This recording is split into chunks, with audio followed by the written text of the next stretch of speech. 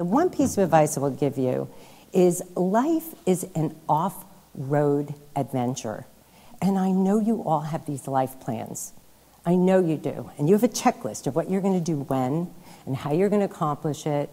And you're, you know, first I'm going to get my MBA, then I'm going to get this job, then I'm going to meet the man or woman of my dreams, then I'm going to have a family. You all have these life plans. Those aren't plans, they're wish lists. Seriously.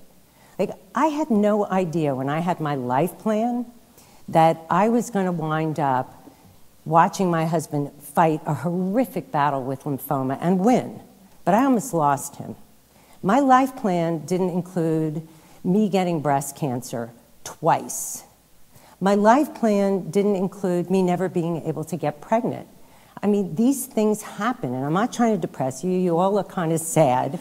But I'm simply saying life is going to throw you a curveball.